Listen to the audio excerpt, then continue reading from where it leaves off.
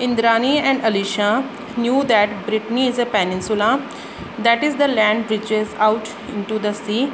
A part of Normandy is a peninsula too. Indrani और अलीशा जानते थे कि ब्रिटनी जो है वो एक पेनिनसुला है peninsula means an area of land that is surround or that is almost surrounded by water land का एक पार्ट जो कि ऑलमोस्ट पानी से घिरा रहता है and a part of Normandy is peninsula too और नॉर्मेंडी का भी एक पार्ट जो वो भी पेनिनसुला है they found this part of France very cool cool and pleasant sometimes there were storms from the ocean and it rained a little almost every day the people there mainly farmers and fisherman seemed a little old fashioned. They were not too interested in trying new things, unlike the people in other parts of France. अब उन्हें मतलब France का ये जो part था, बहुत ही cool लग रहा था, ठंडा और प्लेजेंट पीसफुल लग रहा था। और कभी कभी इस ओशियंस में से स्टॉम्स तूफ़ान भी आते थे और यहाँ पर ऑलमोस्ट रोज़ जो है थोड़ी बारिश हो जाया करती थी। The people there mainly farmers and fisherman specially farmers और फिशरमैन जो थे, वहाँ के थोड़े ओल्ड फ़ैशन थे, क्योंकि वो नई चीज़ों को ट्राई कर करने करने में इंटरेस्ट नहीं रखते थे, जैसे कि फ्रांस के दूसरे पार्ट्स के लोग करते थे। The Rajans enjoyed visiting the old sea ports उसके बाद राजन जो है ओल्ड जो वहाँ के फ्रांस के ओल्ड सी पोर्ट्स हैं।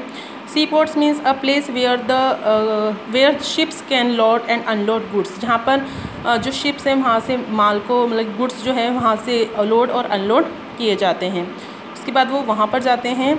They knew that long ago in the days of wooden sailing ships soldiers and colonist had sailed from there अब उन्हें ये बात पता थी कि काफ़ी समय पहले जब वुडन सेलिंग्स का टाइम था, लकड़ियों की जो नाव बनी थी, उस टाइम पर सोल्जर्स और कॉलोनिस्ट कॉलोनिस्ट मतलब कि जो दूसरी कंट्री से लोग आकर वहाँ पर अपनी कॉलोनी सेटअप करते हैं, वो लोग वहाँ पर सेलिंग किया करते थे।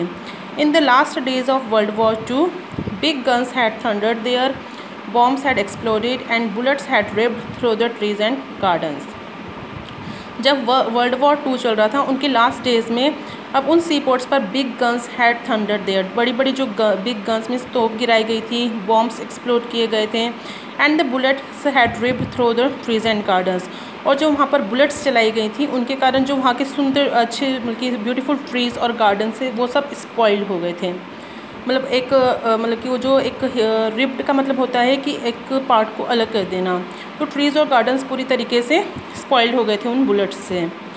However the sea coast and the countryside looked very peaceful when the Rajans family visited them तो जब राजन्स फैमिली सी कोस्ट और कंट्री साइड की विज़िट करती हैं तो यह दोनों पार्ट्स उन्हें बहुत ज़्यादा पीसफुल लगते हैं।